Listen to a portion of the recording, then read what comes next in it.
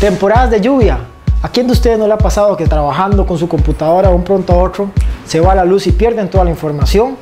Es un claro ejemplo de lo que nos pasa en nuestro diario vivir. Eso significa que no tenemos una computadora con un respaldo de energía, que nos permite no solo proteger el equipo sobre fluctuaciones de voltaje, sino que nos da un respaldo extra para que podamos terminar lo que estamos trabajando y obviamente salvaguardar nuestra información.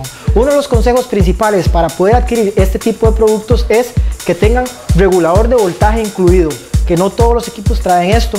Y segundo, cuánto es el tiempo que yo desee que mi equipo quede respaldado luego de que haya un apagón. Entonces, para eso tenemos diferentes tipos de capacidades, 500, 750 y 1000 voltiamperios, dependiendo de las necesidades de cada uno. Ya sabes, uno de los consejos más de Justech Technology, tus amigos en tecnología.